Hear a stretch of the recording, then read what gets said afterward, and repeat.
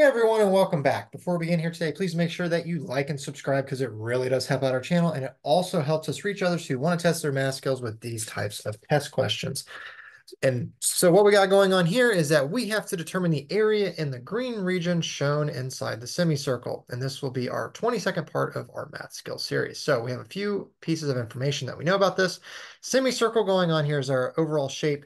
We have one line segment, which is eight centimeters, and another one, which is four centimeters. And these two segments are separated by 12 centimeters.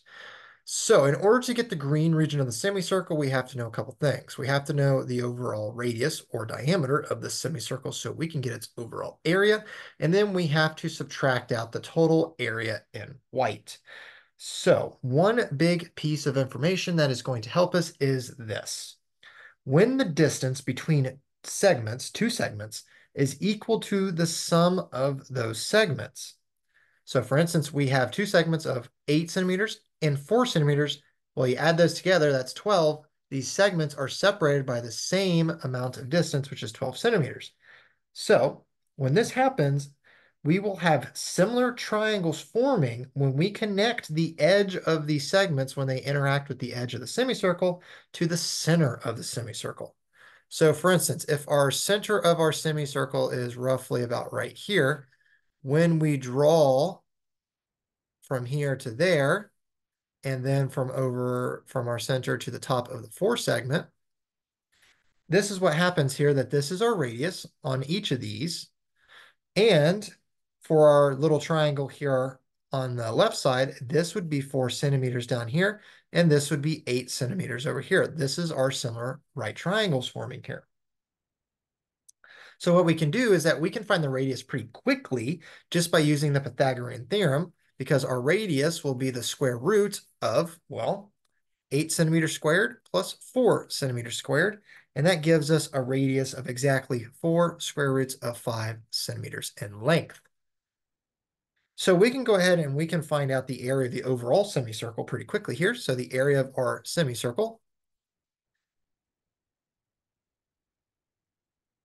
would just be pi r squared over 2 which is just pi times 4 square roots of 5 centimeters over 2, square it, and that gives us 40 pi centimeters squared as our overall area for our semicircle. Now, all we have to do is find out what's the area in white.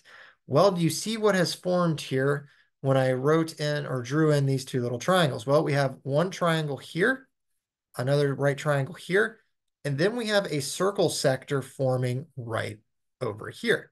So if we combine the two triangles together and then with that third area of that circle sector, we can combine all that and subtract it from our overall area of our semicircle, and that would give us what's in green.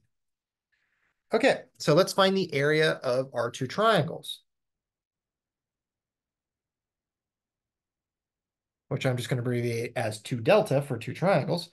And since each one is going to be 1 half base times the height, well, the base and height are just going to be switched for each one. Well, since there are two of them, we are just going to take the base times the height, which would be 8 centimeters times 4 centimeters. So the area of both those two uh, triangles combined would just be 32 centimeters squared. All right. So what's left here is that we have to calculate this little circle wedge here. Well, we have to determine what this angle is right here, which I'll just call theta.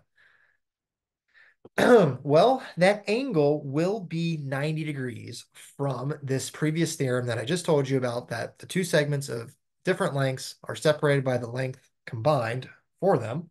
Well, this will always be a 90 degree angle forming right here.